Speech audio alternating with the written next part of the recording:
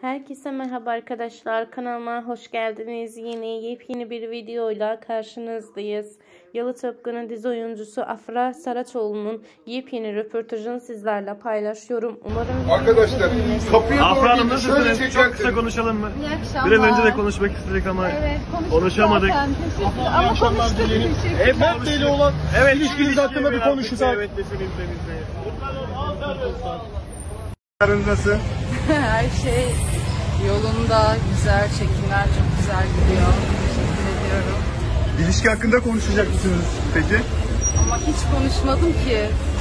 Peki şey diyorlar. Şimdi niye konuşayım?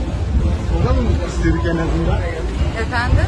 Biz de soralım dedik ama yönetmeniniz mi bir kısıtlama getirmiş hani ilişki konusunda kesinlikle görüşmeyeceksiniz, konuşmayacaksınız diye. Böyle bir yasaklama var mı? Hiçbir şekilde yorum yapmayacağım bu konu hakkında. Teşekkür ederim. İşimizde, gücümüzdeyiz, çalışıyoruz. Her şey yolunda, her şey çok güzel gidiyor.